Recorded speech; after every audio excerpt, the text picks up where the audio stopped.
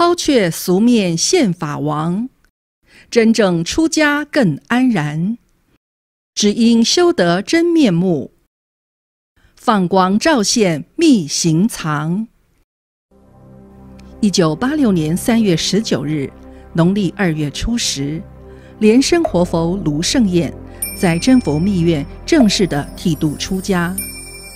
莲生活佛说：“我是一位明白因果的人，我的出家与不出家本来是不拘形式的。”我是自由自在的，我了悟三界无法，何处求心？白云为盖，流水为情。我已解脱一切无形的束缚，如今一切有形的也将解脱。我这出家是为了以出家相来度化更多的人，我要将真佛密法弘扬全世界。使人们灭除贪嗔痴，解脱生老病死，将一切烦恼痛苦完全消除，用佛法真理永恒脱离生死轮回的境界。三十年过去了，二零一六年三月十八日是莲生活佛圆顶出家第三十周年的纪念日，感恩圣尊莲生活佛悲悯众生。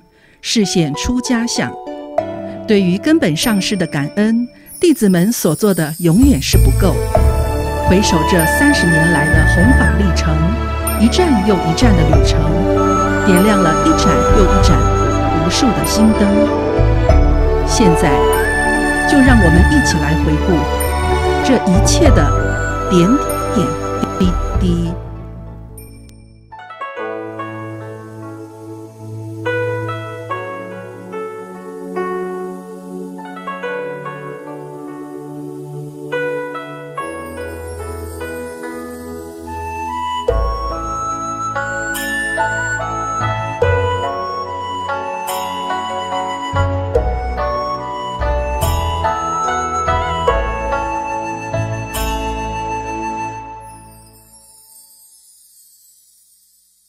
Na